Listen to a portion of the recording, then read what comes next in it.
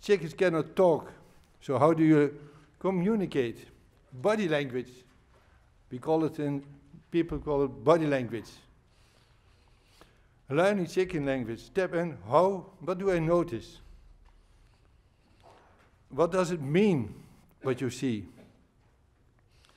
And try to learn to translate your observation. I will come up with some examples. Signals from the flock.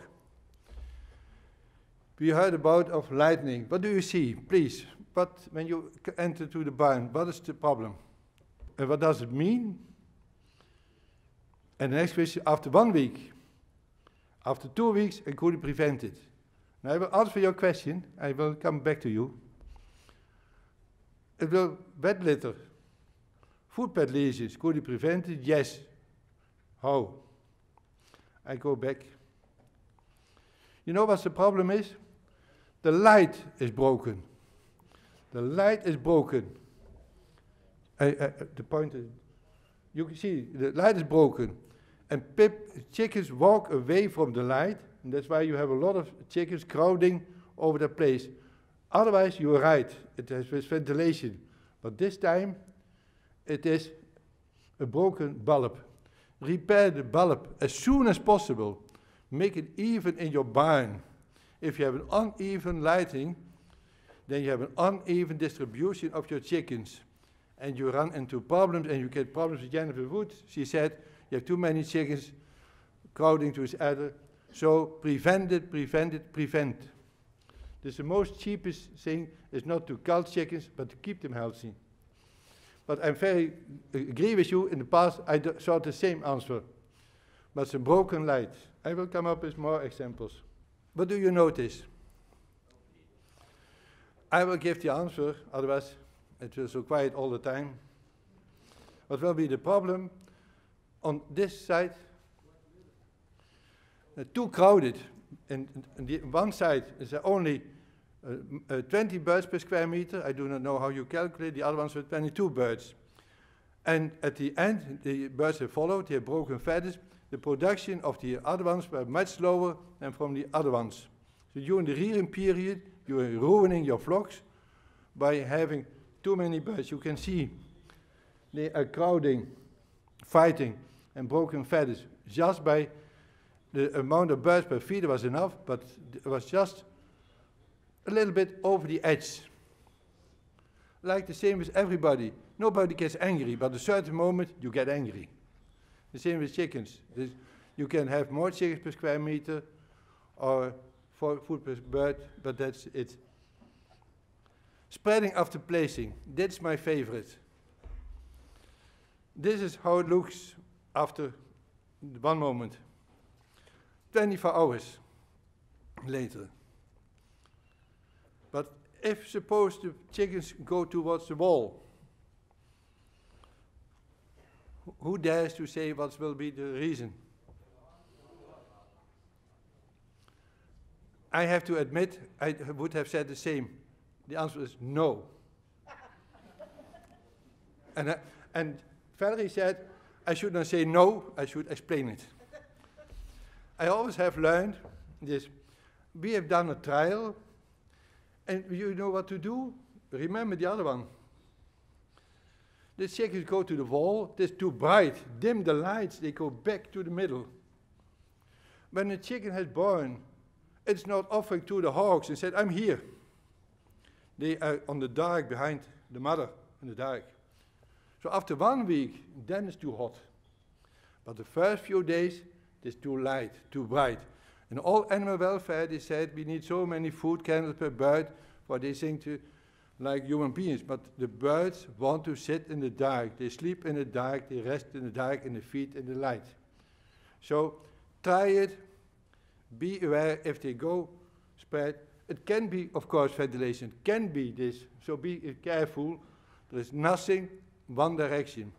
But always, I have learned it that there is much more. So just too bright, go to center, dim the lights, and they go back. If you do it after one day, they have learned to sit there. You never get them back. If a bird has learned hab bird habits, The net same like human beings, you cannot get rid of the bad habits. They keep it all the time. So act soon. Look, think, and act. This is a ventilation problem. Measuring. Sampling, but how? These birds are not well dressed. Something is missing. No fat is on the bird, no fat is on the floor. Something is wrong, I don't like them. What should you do? This picture I made myself after a mistake. What's the signal?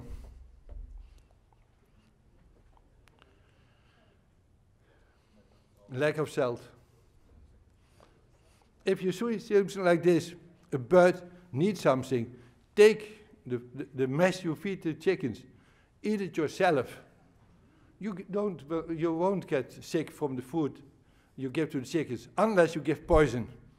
But if you give a normal, healthy diet to the chickens, you can also eat it yourself. Don't be afraid, to do this. There's a lack of salt.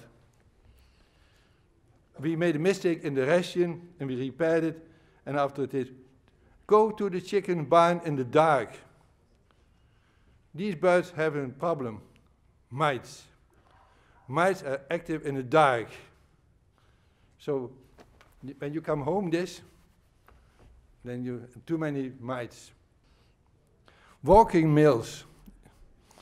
You have seen this. You know what happened? Very poor fertility. Why? Too many males.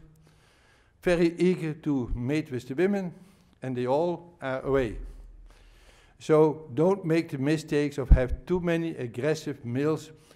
Do not start more than six, seven percent males at the start of the laying period. Everybody wants to have a lot of you- and they say, yes, they die. That's why I need so many males. Sure, they will die. You have too many males to start with. But I'm not giving a talking about how to manage it. Just to look at your bird, to watch it, and to take your conclusions and to learn from it. Not just chicken talk, teaching, training. I call it interactive management. Listen to your birds, learn from it. Signals from the droppings. Is it shit or info? What do you see? Is it info? What kind of manure is it? Is it fecal, cecal, or normal droppings? Is it good or bad? What does it mean? This is what I like. I do. This is good or bad. I go quick. This is grade A. So if you have dropping, put it on your hand, and when it rolls off and your hand is still clear, you can shake hands. Then it's a good dropping. That's a very easy measurement. So also you can go in the dark and see where the droppings are. They're all on one side, then they are uh, not sitting on that side. So there is something wrong with the ventilation or the cold or the light. So check the floor, use your hands and seize the squid, the shit. You do this, you take your take it and squeeze it without your hands. So very cheap tools. Don't invest in it. What is your conclusion when you do this and you see, you can see it very clear, you see a, a little droplet. Too wet. If you are able to squeeze water out of the dropping, there is something wrong in your chicken house. I'm not saying what you should repair. Of course, I have always an answer, but maybe not a good one. But the squid, shit, and do it. Wash your hands after that, but don't say, I don't know. Conclusion do something, usually with broilers, I should say more whole wheat feeding. Another one, I should say this one or that one, but you have to do something.